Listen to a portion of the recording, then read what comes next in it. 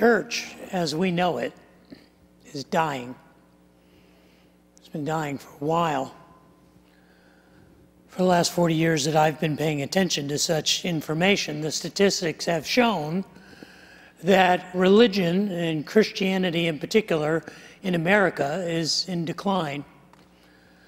One of the statistics I remember seeing when I was young in ministry was that every year there were between 1,000 and 1,500 new church starts. Churches that are started in living rooms and in high school gymnasiums and auditoriums and theaters around the country. Adventures in starting a new ministry between 1,000 and 1,500 a year. But also, over the course of my ministry life, the average has been that every year 4,000 churches have closed their doors. The trends are undeniable as you measure the statistics throughout American history. For example, in 1955, a survey of American adults found that 71% of them identified as practicing Protestants. 1955. By 1970, that number had declined to 60%. 30 years later, in 2000, it was 54%, 2010, 51%. And the most recent statistics I saw this year was the first year in American history that people who identified as practicing Protestant Christians fell below half of the population at 48%. There are uh, surveys that say between 37 and 40 percent of Americans attend church weekly. But there was a Hartford Institute of Religion research study in 2017 that said that the, that information is not accurate because they measured the percentage of people who said they attended church weekly, and then they measured a sample of how many people are actually in church and it turns out that half the people lied on the survey. Can you imagine that? These are people taking a survey of religious practices and they lied about how often they came to church. The actual numbers were almost half of the number of people who said they attended church weekly. Now, that's not just a sad commentary on our pathological lying ability, it's also a sad commentary on the state of religion. That most people perceive religion and the practice of Christianity to be something they ought to do or are supposed to do, and that it's guided by rules and obligations. I think this is why we are seeing a decreasing trend in the activity and the churches in America. For example, in 1900, there were 27 churches for every 10,000 people. A hundred years later, in the year 2000, there were only 11 churches per 10,000 people. I realize that some of that can be explained by the changing demographics between 1900 and 2000. The invention of the car alone changed people's habits on Sundays. They didn't have to go to the church in their community, they could go to the better church around the corner. And the, and the increasing migration from agricultural areas and rural populations into the cities meant denser populations and fewer churches, but still, that's a frightening statistic that the church in America is dying. And probably the most troubling evidence is the fastest growing identified religious group in America are people who identify themselves as unaffiliated. Statistically, they are referred to as the nones. And we're not talking the flying nun. We're not talking women who uh, devote their lives to service in, in the Catholic Church. We're talking about people who self identify as having no religious affiliation whatsoever. For most of the history of America, for since the, since the question was asked, the, the percentage of people who identified as unaffiliated was always in single digits. In 1977, it was 7%. In 1987, that had remained 7%. But by 1997, it had almost doubled to 12%. In 2007, it had increased to 16%. And last year, in a national survey, 24%, one in four people, a quarter of our population, identified themselves as unaffiliated religiously or spiritually. Now, that's an amazing growth in the segment of our population that identifies themselves as unassociated or unaffiliated with religion. But the most shocking statistic is the growth of that segment of the population among millennials and younger Gen Xers. In, among, among young adults between 18 and 35, the percentages are growing every year those between 30 and 35, a third of Americans, 30%, identify themselves as unaffiliated. But if you look at the 21 to 29 year old age group, then it's 33%. Among 18 to 20 year olds, the number jumps to 38%. For comparison, in the same age group in 1955, 75% of the adults between 18 and 35 identified themselves as practicing Christians. In 2017, that number is 25%. 1970, it said that 3% of the population was raised in unaffiliated households. 40 years later, in 2010, that number had grown to 8%. But the most shocking statistic was that the 2017 Pew Research Center for Religion and Ethics found that 74%, two thirds, of the people, of the young adults who identified themselves as unaffiliated were raised in church going homes, are in our children's programs today. Three quarters of that generation were raised in church. We're losing an entire generation. And I couldn't be more excited. I am excited because this is an opportunity. I'm excited to be alive doing what we are doing in this moment. This is a watershed moment in the history of the church in America. And not only am I excited that I get to be alive in this time, in this time of, of great demand for, for a revitalized version of Christianity, I'm excited to be involved in this church because I believe that the DNA of this church equips us perfectly for the rising change in the spiritual expectations and commitments of future generations. I'm not just blindly optimistic about this. I am convinced that the church in America, and especially this church, can not only survive this dynamic cultural shift, but thrive if we are willing to do one thing. But before we talk about what that one thing is, would you pray with me?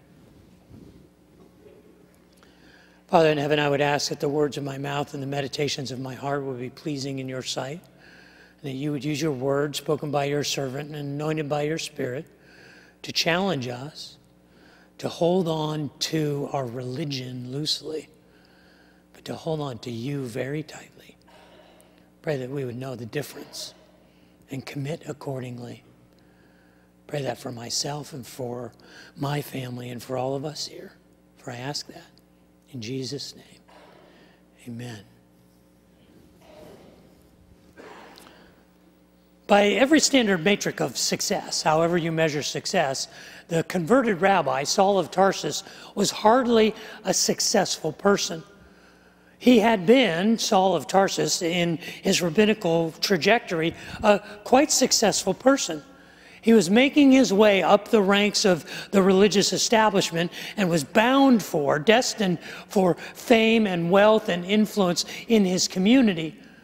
But it was in 34 AD that God interrupted the order of his life and disordered his heart. He interrupted him on the road to Damascus, and there he changed from Saul of Tarsus to Paul the Apostle. The trajectory of his life also changed, not a trajectory of increasing influence as a rabbinical leader and scholar, but now his trajectory began to descend into greatness, where he was becoming increasingly enamored with, increasingly compelled by the transformation that was taking place in his life. But even that descent into greatness did not call much attention to itself. For 14 years after his Damascus Road experience, which was in 34 AD, the Apostle Paul studied and taught and worked and, and, and gave himself to the service of the church, but we know very little about it. Most of what he did is not memorable, inconsequential. It wasn't until 14 years later in 48 AD that he finally was commissioned to go on what would become 12 years of missionary journeys throughout the Roman Empire. He spent 12 years on three missionary journeys sharing the architecture of grace and the gospel of Christ with most of the known world. It was in uh, 50, 56 AD that the Apostle Paul was traveling through Upper Macedonia and he wrote a letter, a second letter, to the church in Corinth in Greece. And it was there that he described the years following his Damascus Road experience. See if this sounds like the description of a successful life.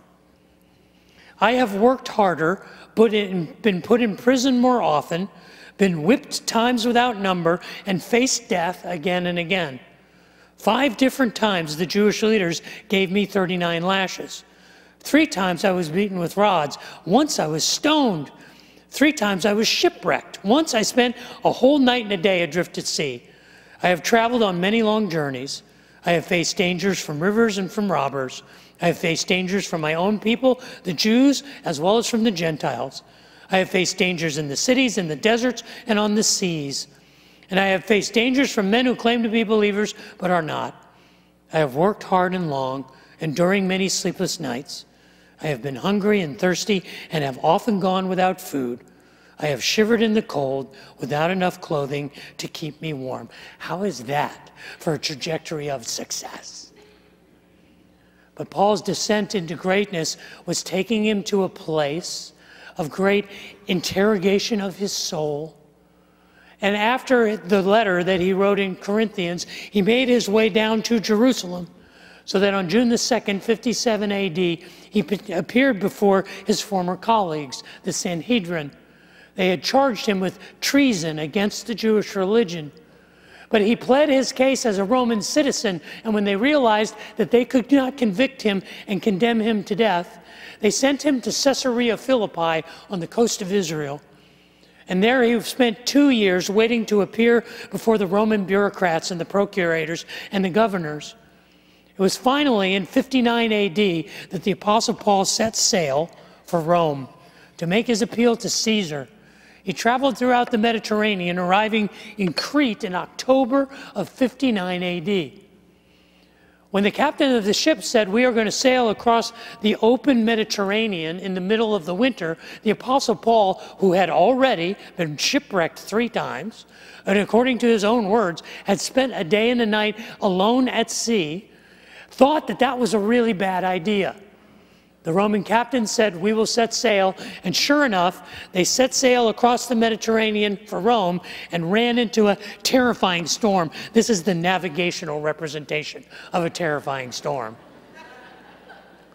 They wound up shipwrecked on the Isle of Malta in October of 59 AD. They spent the winter there, and in the spring of 60 AD, they made their way to Rome, where Paul was placed under house arrest and he would remain for two years.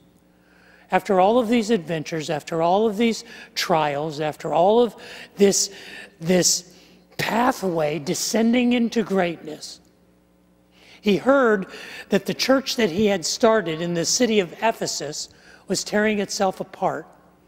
And he wrote them a letter we have that letter preserved in our Bible as the book of Ephesians. And it's in Ephesians chapter 3 that we see the Apostle Paul continuing his descent into greatness. No longer the Hebrew of Hebrews, not even the way he had described himself years earlier as the least of the apostles. In Ephesians chapter 3, verse 8, he describes himself as less than the least of all of God's people. This was the man who was the Hebrew of Hebrews. And then he was the least of the best, the least of the apostles. Now, four years later, he sees himself as the least of the rest of us. It is this journey that the Apostle Paul is on that all of us go on. It's not a geographical journey, it's an inward journey.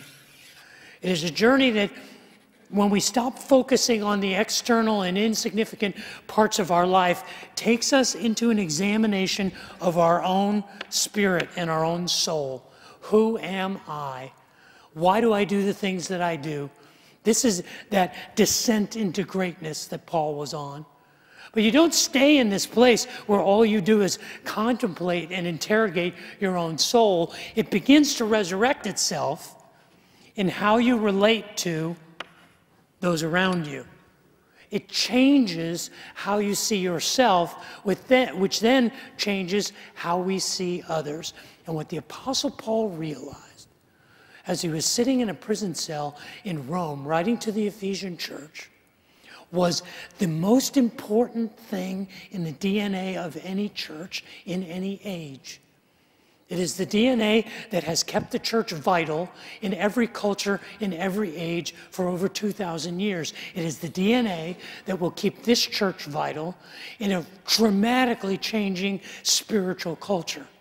And it is the simple DNA that says this church is not here for me, this church is here for others. This church is not here to make me comfortable. This place does not exist so that I can find a cruise ship and sail off to heaven.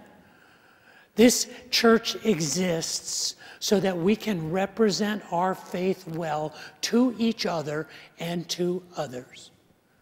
It doesn't exist for me. It exists for those who have yet to find it. It exists for those who have yet to be born. It's this transformational viewpoint that says, it's not here for my comfort.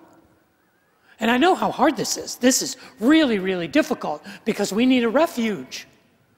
We want this place to be a place that matters to us, that restores our soul, that feeds our spirit, that gives us a shelter in the storm. We want to walk in and we want to see familiar faces. We want to hear familiar voices. We want to sing familiar songs. Because this is the one place in our life that shouldn't change. Because you know what else changes outside? Everything. And so we long for this place to be a place of comfort and for this place to be a place of refuge and a place of safety. But it's not about us.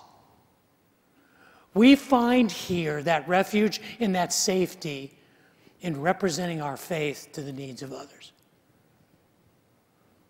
That's the one thing. The one thing that will cause any church, that has caused the church for 2,000 years, that will cause this church not just to survive, but to thrive, is that if we remember that this is not here for us, it's here for others. Everything we pray, everything we say, everything we sing, everything we do is to make our faith real to those around us. I know if you're super spiritual, you're saying, well, Dave, the church should be about Jesus. That should be what we're about. Well, let me tell you that what Jesus was about was others. And Jesus says, if you love me and you hate your neighbor, you're a liar. So the reality is, we express our faith by caring for the needs of those among us and those around us. And it's the vitality and the reality of that that people are craving and searching for and groping for in the dark. This is what we are called to be. This is what we are fashioned to be. This is part of our DNA. You see, the church has to die because we are a people of resurrection. And you cannot have a resurrection without death. And every generation has to evaluate the forms and the practices of their parents and their predecessors' church and say, this works for me and this doesn't. And they have to be given the permission to do that. This generation has to give permission to the next generation to give permission to the generation behind them so that they can focus not on their own needs, but on the needs of others. You see, if we build a church for people who are dying, we shouldn't be surprised when it dies. But if we build a church for people who are not here yet, who have not yet discovered the hope that can sustain them in the storms of life, if we build a church for those who are not born yet, it will live. I don't think there's anyone here, is there? Who would say, you know what I want to do? You know what? I want to build a comfortable place for me. I want it to be about me. I want to sing the songs I like. I want to do the things I like. I want to see the people I like. And I really don't care if my children don't like it. I don't care if my children find value in the faith of their fathers. I don't care about my children or my grandchildren. Is there anybody here who would actually say that? Well, if we really care about generations yet to be born, we should be about the business of building this place for them, putting them on our shoulders and saying, You reach higher and you pay forward that DNA because we showed you that it's not about us, it's about you. You show the next generation that it's not about you, it's about them. This is the journey that the Apostle Paul was on. This is that inward journey. And we don't do this. We don't do this out of obligation. We don't do this out of guilt. We do this because of grace. You know, as the Apostle Paul sat in house arrest in Rome, in the early part of 60 AD, he got a report from his home church in Ephesus that the church was being, being torn apart by two groups of people. There was a group of Messianic Jews who believed that in order to be a true follower of Christ, you had to keep the law, which meant you had to be circumcised, which meant you couldn't have ham and cheese sandwiches or play tennis on Saturdays. And they saw themselves as people who were superior spiritually because of the traditions that they maintained. But the church was also populated with people who had come in out of Roman pagan culture, people who, nothing, who knew nothing of the law. And, and so the church was, was divided between these Messianic Jews and these Gentile Christians. And they were arguing over which of them was superior. And the Apostle Paul lost his mind. And he said, Don't you understand anything about grace?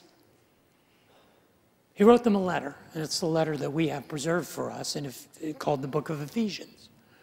And in Ephesians, what we have is Ephesians chapter 2. He says, Don't you understand? All of you were dead. Before Christ found you, you were dead. You were hopeless. It didn't matter whether you were a Jew or a pagan Gentile, it didn't matter. We were all dead in our trespasses and sins. And then he says, But by grace we have been saved through faith. And it's not of works. It's not, it's not anything we've accomplished so that none of us can take credit for it. You see, it's the gift of God. And if we understand that God's grace is a gift, then we understand we have work to do. And it says we are his workmanship created in Christ Jesus. We are his workmanship individually, and we are his workmanship corporately. To share that grace, to share that gift with everyone around us. That is why we exist. He goes on in the rest of Ephesians chapter 2 and the beginning of Ephesians chapter 3 to, to, to build out the architecture of grace to try and unify this church in this DNA of that others matter more than ourselves. This other centered theology, this grace theology. And when he comes to chapter three, he says this was God's plan all along. It was God's plan to have the Jews and the Gentiles, to have the pagans and the, and the religious people come together in Christ and to be a blessing to one another. This was always God's plan. And this is where he then says, and I am the least likely person to champion that message. I am the leastest of all the apostles. The word that he uses there is Ella Kistos. And he actually, he actually uses a, a word called elakistatero, which is a word he made up, which means the leastest It's like the trivialist. It's like the most insignificantist. He's trying to say that, that of all of the people who have ever lived, I am the least likely person, the least qualified person to champion this other centered theology because I began my journey as the Hebrew of Hebrews. I began my journey out here in this self righteous place until God interrupted my order and I had to reorder my private world and I had to understand who I really was in Christ. I had to understand why I do the things I do, why I feel the things I do. And because of that grace, I can now be a servant of others. I can now embrace us.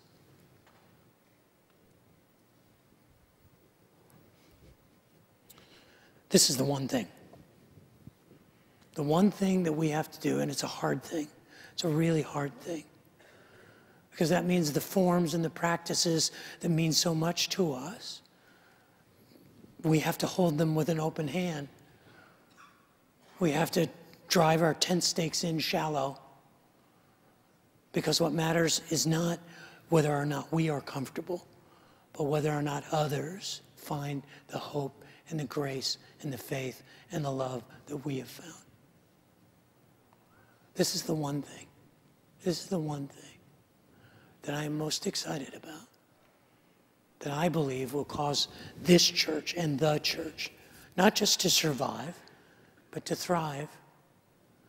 But there's evidence that, that this shift away from institutional Christianity is not a shift away from faith. It's interesting that most of the people who identify themselves as unaffiliated or as nones do not consider themselves to be atheists. They consider themselves to be spiritual people. In fact, of the 46 million unaffiliated young adults, they 46 million, 68% of them consider themselves to be religious or spiritual in some way and believe in God or some kind of higher power. Two thirds of the unaffiliated are looking for the grace that we have found. 58% say they find a deep connection with God and nature. They know, they know there's more. 37% say they are spiritual, but not religious. And shockingly enough, one in five, 21%, say they pray every day. I believe we live in a world that, even though statistically looks like it, it is abandoning the church, is not abandoning a quest for faith. And I believe we are perfectly positioned to be a community of people that get that. That say, I understand that. Come on the journey with us. And we can help you, and you can help us discover a God who loves you. The church is dying. And that's a good thing. Because we are a people of the resurrection. And the church has to die to be resurrected. So I say, the church is dead. Long live the church.